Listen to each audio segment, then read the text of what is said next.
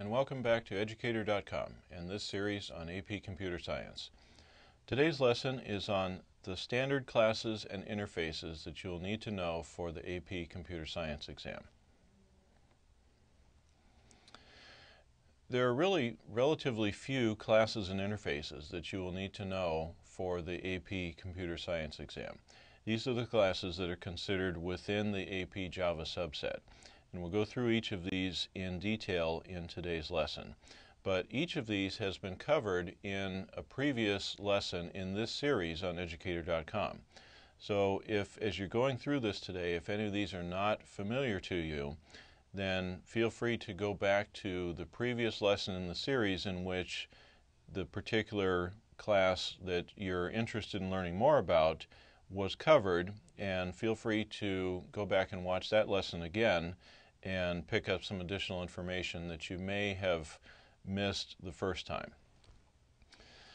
So here are the classes and the one interface that you need to know for the AP exam. First of all is the object class, the integer and double numeric wrapper classes, the string class, the math class, then we come to the list interface, and the implementation of the list interface in the array list class. And then finally, I'll conclude with some test taking tips specifically related to these classes and interface and how to be successful in applying these on the AP exam. So let's get started. First class that we're going to talk about is the object class. And the full path to this is java.language.object.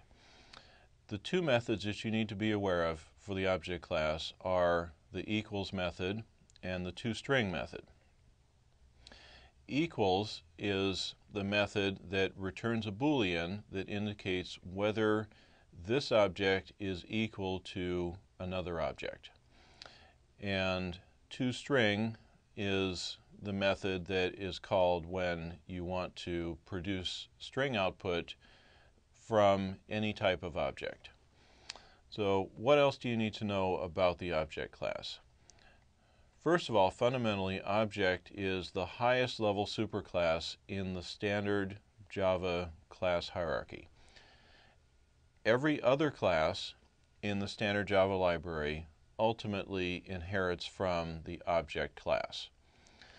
And subclasses of object, which are every other class that's provided by Java usually override, which means they provide their own implementation of these two methods, the equals method and the toString method.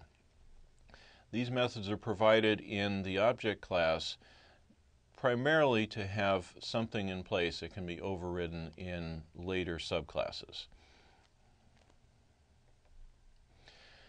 The next class that you need to be comfortable using is the integer class. This is java.language.integer. And you need to be able to use the constructor. Remember, constructor has the same name as the class that it belongs to. And the constructor for an integer takes an int and creates an object of type integer that is numerically equal to the int that you pass into the constructor. And then the method that you need to be aware of for the integer class is the int value, which takes an object of type integer and gets you an int, the primitive type int, out of the integer object. So the constructor takes primitive type int and constructs an integer object the int value takes an integer object and gets you back a primitive type of int. Those are the two things that you need to be able to do with the integer class. Additionally, you'll be expected to realize that there are these two constants, integer.min underscore value and integer.max underscore value. And these two values store, respectively, the smallest number that can be stored in the primitive type int and the largest value that can be stored in the primitive type int. And you can use these constants for comparison to make sure that you're not going to overflow the capacity of the primitive type int if you have a variable of type int. What else you need to know about the integer class? Integer is the numeric wrapper class for the primitive type int. You're expected to understand what the term numeric wrapper class means. It means that it provides an object that functions like the primitive type int, but it has the behavior and characteristics of an object. So it, it can be used when you want to store integers in a data structure that requires objects, like a list.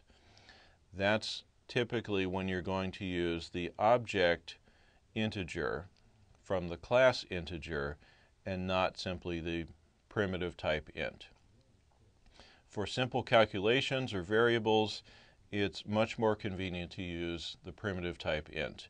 But if you're going to be storing it in a list or some other structure that requires an object, then you cannot use the primitive type int, and that's the primary application that the integer class is provided to address.